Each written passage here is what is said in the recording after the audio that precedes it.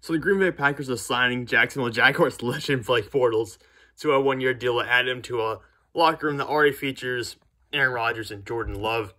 Now this is happening for obvious reasons. Aaron Rodgers supposedly has out with the team, even though there are rumors about a potential contract extension or an offer for one having been made to Aaron Rodgers by the team. Uh, we don't really know what that entails. I mean, that might be a situation where the extension has a lot of team options on it. So basically, it'll be like a one year deal, then you renew it afterwards, in which case Aaron Rodgers won't be happy with that at all because he's looking for a long term deal that basically will say, hey, the whole Jordan Love plan, we're not going to worry about that for three or four more years. So I think that's what he's looking for. And apparently, he hasn't gotten that offer yet from the team.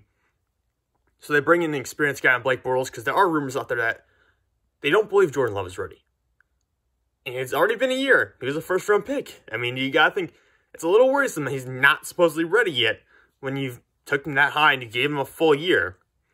But anyways, to bring in Blake Bortles, and I say this is a really good add for Green Bay because Blake Bortles was the quarterback for the Jacksonville Jaguars last time they made the playoffs, 2017 season, when they were first in the AFC South. They lost the conference championship game to the New England Patriots. Now, obviously, Blake Bortles has not been that guy consistently.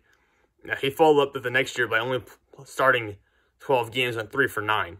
So, Blake Bortles not a consistent player, but when you look at the quarterbacks that were on the market, just consider how many of them do you think had 73 games worth of starting experience?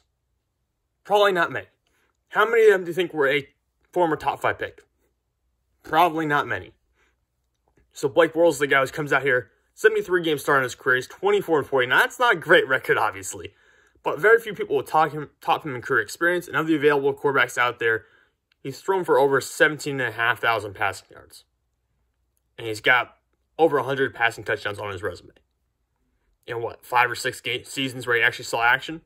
So you have to consider that. This guy probably has more experience than most players out there or most cheap veteran options. So this is a good add for Green Bay, even though you hope he never sees the field if you're a Packers fan. This is still a decent addition to have this guy back there in case there's a situation where Aaron Rodgers and or Jordan Love are not seeing the field in 2021.